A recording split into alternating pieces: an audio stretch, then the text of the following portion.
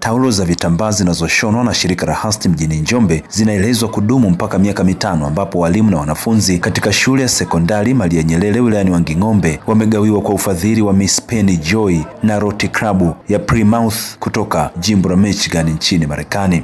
Elimu hii ya hedhi salama imeambatana na utoaji vifaa kwa watoto wa shule ya sekondari ya wasichana ya Maria Nyerere yenye wanafunzi 736 na pia walimu na watumishi wasio walimu 32 na kufanya jumla ya 768.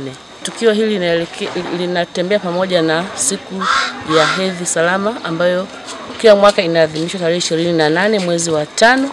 Kwa hiyo kauli mbiu ambayo tulikuwa nayo mwaka jana ya tumedhamiria, yani we are committed na mwaka huu tunaendelea kusema we are committed. Afisa elimu sekondari wilayani Wanging'ombe, mwalimu Asha Chilimba, pamoja na wanufaika wa mradi huu ambao ni walimu na wanafunzi, wamesema tunaamini kwa upatikanaji huu wa taulo hizi, basi matokeo ya mitihani ile ya mwisho, kwa maana upimaji wa kidato cha pili na mtihani wa taifa wa kidato cha nne, matokeo yatazidi kuimarika zaidi. Lakini elimu ambayo imetolewa wanafunzi wanajua namna gani ya kuweza kujitunza vizuri pindi pale wanapokuwa katika siku zao, na mwisho wa siku inawatengenezea mazingira mazuri kwa ajili ya mazingira hapa watakapokuwa wamehitimu shule.